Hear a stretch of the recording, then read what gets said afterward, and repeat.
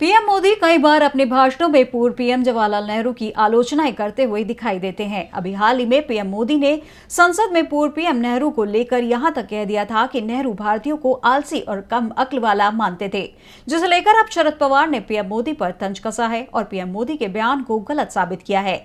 जिसे पीएम मोदी के फंसते हुए दिखाई दे रहे हैं तो क्या कहा है पवार ने नेहरू को लेकर? पीएम मोदी से देखते हैं ये रिपोर्ट। एनसीपी प्रमुख शरद पवार ने पीएम मोदी पर लोकतंत्र को लेकर निशाना साधा है।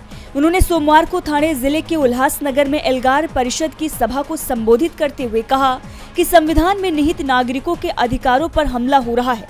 ये देश के लोकतांत्रिक ढांचे के लिए खतरा है। साथ ही उन्होंने देश के पहले प्रधानमंत्री जवाहरलाल नेहरू और संविधान के प्रमुख वास्तुकार बाबा साहेब अंबेडकर को निशाना बनाए जाने की आलोचना की।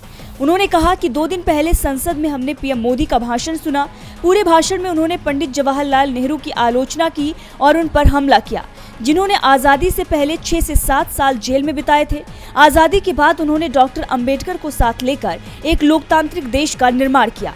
यह हमला उस व्यक्ति की नीतियों और निर्णयों पर किया गया था। पवार ने कहा कि इस तरह के हमले केवल व्यक्तियों को निशाना नहीं बनाते, बल्कि इन महान व्यक्तियों के निर्धारित मूलभूत मूल्यों और सिद्धांतों को व्यापक रूप से निशाना बनाते हैं। उन्होंने कहा कि इस हमले का मकसद बाबा साहब अंबेडकर के दिए संविधान को कमज़ोर करना है, और फ़िलहाल मोदी और उनके सहयोगी यही काम कर रहे हैं। पवार ने आगे भी कहा कि पाकिस्तान, श्रीलंका और बांग्लादेश जैसे कुछ देशों में जो स्थिति बनी हुई है, उससे बचने के लिए ये सुनिश्चित करने की ज़रूरत है कि जिस संविधान ने हमें मौलिक अधिकार दिए हैं, उसका संरक्षण किया जाए। साथ ही उन्होंने किसानों और हाशिए पर रहने वाले समुदायों पर बढ़ते हमलों का भी ज़िक्र किया।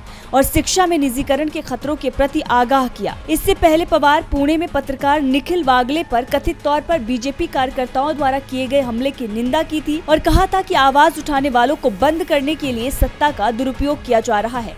डीबी लाइव की रिपोर्ट।